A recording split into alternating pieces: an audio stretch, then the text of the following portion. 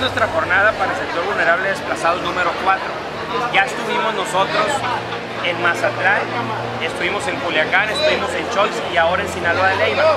Son dentro de las jornadas que el gobernador Quino Ordaz instauró, aparte de los jueves y los sábados, para los sectores vulnerables. Le dimos una primera vuelta a los campos pesqueros y estamos interactuando desplazados con comunidades indígenas. Esta es la cuarta desplazados. Hemos atendido hasta antes de, lo, que de lo que tengamos el día de hoy a más de 2.300 personas y hemos otorgado más de 8.400 servicios en estas jornadas exclusivas para desplazados.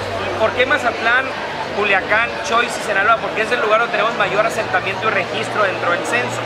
Esto se desprende del censo que tenemos para desplazados que seguimos. Precisamente aquí tenemos mesa de trabajo donde estamos levantando censo por si alguien no estuviera. Esta es una oportunidad para censarse. Y bueno, traemos aquí las despensas del DIF con la señora Rossi. Traemos las, las, las andaderas, el bastón, las sillas de ruedas, el corte de pelo, la Secretaría de Economía, donde vemos la posibilidad de que la gente venga y se inscriba para un proyecto productivo y la capacitación del mismo.